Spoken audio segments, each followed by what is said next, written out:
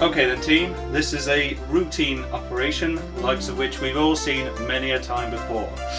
I don't expect any complications. Nurse, are you ready to pass me my equipment as and when I need it? Good thing. Right.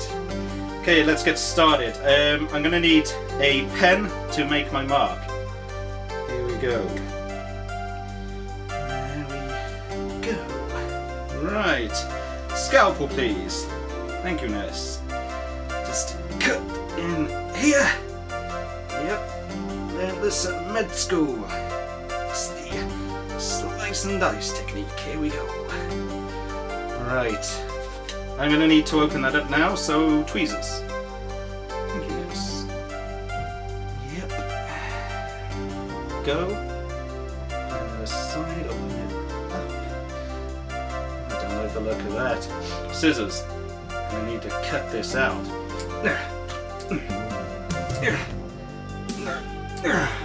You won't need that.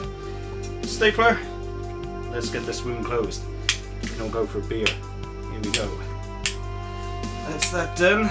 Screwdriver, please. Let's finish this off. Yeah. That's not good. That's not doing the trick. I'm gonna need a cold anger. Cold anger, thanks.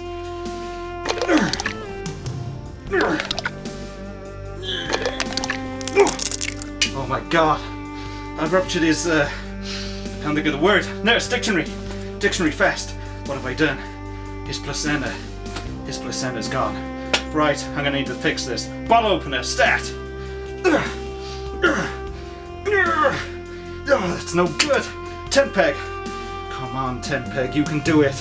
Oh, he's fading. He's fading fast. Cutlass. This'll sort him out.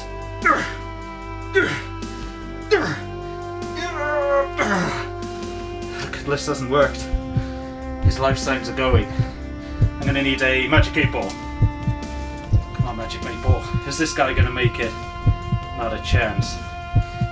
Things are looking grim. There's only one thing that can save us now. Craft knife.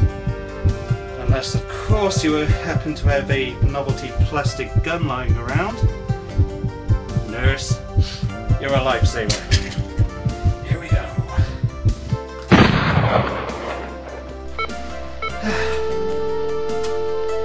this man didn't make it. Toblerone?